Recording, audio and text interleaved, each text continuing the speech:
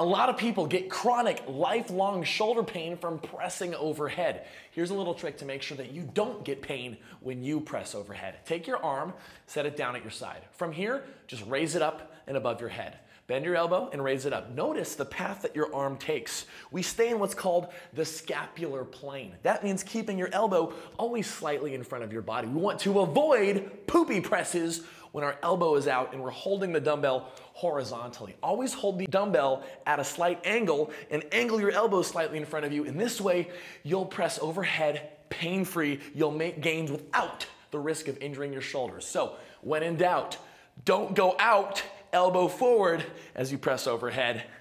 Now do it.